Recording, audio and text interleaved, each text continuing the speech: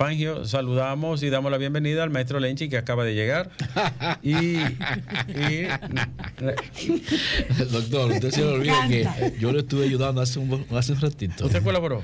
Bueno, hice un aportico. Yo vi a, a Grimer, que fue que intervino. Y... Sí, no, pero yo, él era mi delegado antes de Señores, ahora son las 3.25 minutos en un cielo, so- bueno, nublado, Soleado, está con terrible. probabilidades de lluvia. Es un calor, Jesús. Un calor, que la temperatura estuvo ayer a 30 grados Celsius, señores. 30 grados Celsius. Y hoy ha seguido esa sensación de calor que parece insoportable. Aunque está lloviendo en algunas partes del norte. Llovió en Santiago, Puerto llovió en Puerto Plata de manera dura. Sí, sí, muy sí. duro. Sosúa, Puerto Plata. eh, En alguna Plata. parte de la línea. En el único lugar Llovió en La Vega yo- también antes de ayer. donde ayer yo sentí fresco fue en la Marina de aquel lado, en la Avenida España. ¿Con quién tú andabas por ahí? Con quien me dé la gana. Oh, pero claro, es que- Es que no te está, está me Oh, preguntando con, con- Pero acá. Vaya. con mi Y marido. ya le cambiaron el pues nombre a eso tu marido. que responder. Ah, hoy tú tienes que ver con la vida. Hoy, Con mi marido. ¿Y?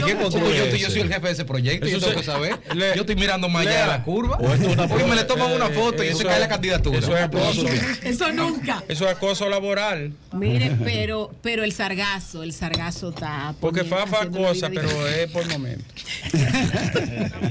La, la, la, a propósito del sargazo, la, la- la regidora Denis, Denis Martínez hizo un llamado de atención a la alcaldía y a medio ambiente, que no pueden dejar que ese sargazo frente a la costa de esta ciudad, que es una ciudad... Señor, ¿y qué va a eh, ¿Y, ¿eh? qué, y qué propuso? ¿Y qué va a ella? hacer? ¿Qué propuso ¿Y qué propuso ella? que, que hagan una acción conjunta para recoger. ¿Cuál? ese- ¿Cómo? ¿Con Pero cuál? ya el Ah, gobierno no, yo lo no hizo, hizo una Ah, conferencia ah, no, no caribeña sé. para no, eso. No, no, no, no, no, el Eh, sargazo que está ahí en el malecón. Ok, lo recogen y mañana hay sargazo. ¿Qué hacemos?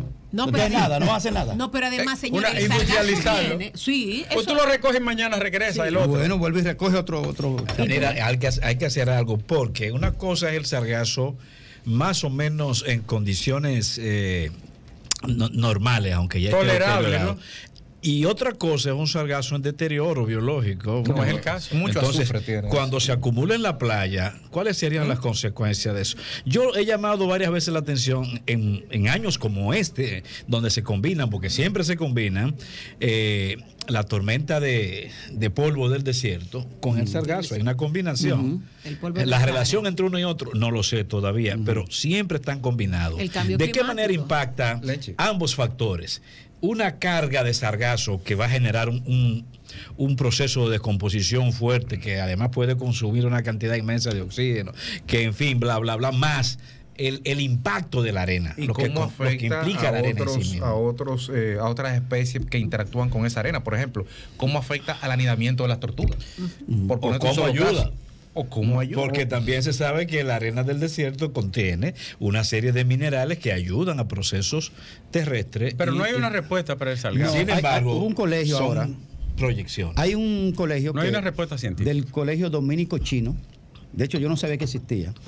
Eh, hicieron una prueba con estudiantes en términos de ciencia y cosas y lograron generar energía a través del sargazo. O sea, no sé qué procedimiento, qué, qué mecanismo, pero hicieron unos experimentos interesantes. Eh, quizá el sargazo lo que nos está dando una oportunidad y no lo estamos Mira, tengo evaluando conocimiento- Tengo adecuadamente. conocimiento, por ejemplo, que desde el punto de vista del Ministerio de Medio Ambiente, desde hace un par de semanas están haciendo algunas iniciativas, diferentes iniciativas para tratar de ver qué senda tomar. Pero viene cada año. Ahora, Sí. el problema es que esto es una emergencia en sentido biológico regional. Estamos hablando de más de 10 mil millones de toneladas que están flotando y el año que viene probablemente haya más. Entonces, el tema no es resolver un problema ahora, es buscar una solución hacer- sostenible. ¿Qué a hacer largo- con ¿Qué ese hacer? material? Porque ese material seguro que tiene un montón de usos, incluyendo el, el- el abono orgánico. Seguro que lo tiene. En otros países han Entonces, hecho. pudiéramos tener en el sargazo una solución a un problema que no lo estamos observando adecuadamente. Mira, Porque aquí se producen países- muchas tierras, se cultivan muchas tierras,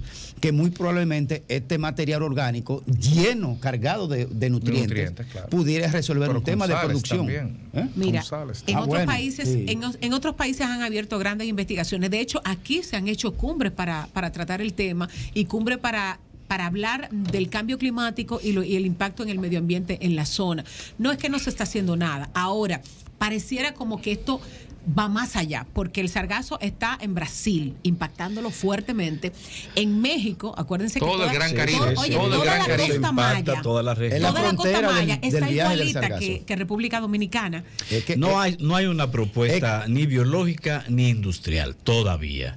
Seguro que aparecerá. No hemos logrado esos niveles de conocimiento del sargazo y todos sus eh, procesos biológicos y químicos, pero seguro lo habrá. Ahora, hay que buscar salidas alternas mientras. No son salidas, sino respuestas, porque esa acumulación de, de sargazo en descomposición también genera una contaminación en el ambiente fuerte. pero horrible. Entonces, el olor, el, el bueno, mal olor Ahí, del sargazo es una aunque cosa. cueste, porque eso cuesta, porque sencillamente se trata de recoger algo cuyo uso es, es indescifrable. En ¿no? México hay una empresa que Pero está algo hay que hacer de ma- a, manera de, Y se sabe que viene cada año. Y viene cada en el mismo periodo. En México Y una empresa ha desarrollado una fábrica de ladrillos con el sargazo.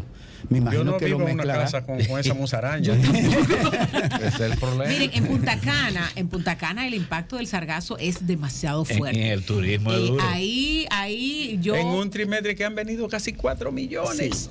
Pero En ahí. el turismo es duro. Durísimo. La alternativa de quitarlo, de retirarlo, pero lo retiran por la mañana, cuando amanece, que amanece la, la- tapado completamente, una alfombra.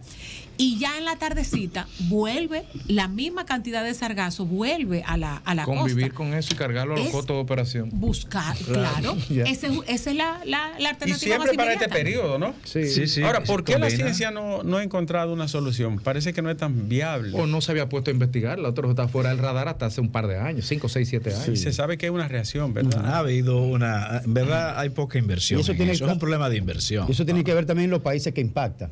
Sí. Sí, sí, Si impactara a una población. A Canadá. Implantar el Hudson, el Hudson Sí, en no, Nueva me York. dijo- Si impactara el Hudson hace rato. Me dijo. Dunia que en, en Jamaica han encontrado alguna solución alterna.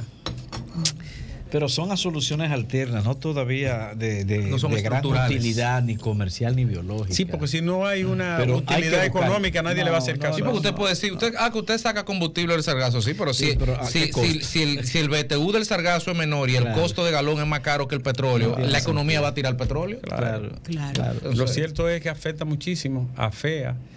Eh, por ejemplo, la gente, en, doctor. la gente en, en Yo ni le voy a Boca decir Chica, que, que huele. La gente en Boca Chica está desesperada porque los comerciantes, los pobres ahí. Bueno, que ellos venden muy caro la fritura. Tienen, tienen- por algún lado tienen que, que, que, que- ¿verdad? Qué bárbaro. Nivelar. Eh, allá, sí.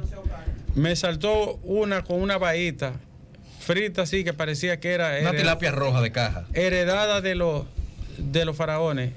Me, dijo, chillo. Digo, no, pero eso, eso, es tilapia roja. Me dijo, son primo hermano. Sol 106.5, con la mayor variedad de contenido, información, entretenimiento e interacción en una sola estación. Cobertura total, disponible para ti en la radio y en las plataformas digitales. Somos Sol 106.5, la más interactiva.